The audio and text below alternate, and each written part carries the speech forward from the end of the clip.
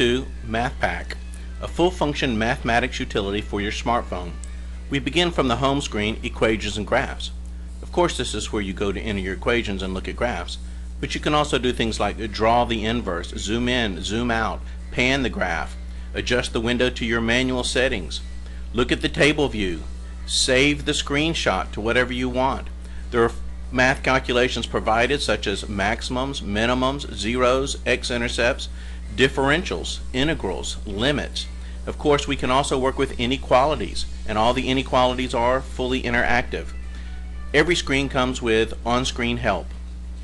The more math calculation starts with slope-intercept equations, factoring quadratics, displaying sequences, summations of sequences, and of course, on-screen help.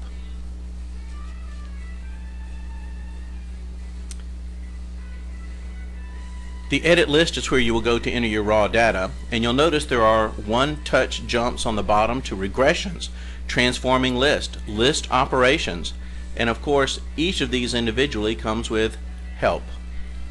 The matrix editor allows you to name the matrices anything you decide. There's 18 different calculations provided and the results of those calculations can be saved as its own matrix so you can continue the operations. There are nine different regressions offered. Each provides the equation and the r squared value as well as the graph. Of course the graphs are interactive and you can save the screenshots. The built-in scientific calculator does allow full complex number calculations, both radians and degrees. It has a fraction converter and its own help screen. Thank you for watching Introduction to MathPac.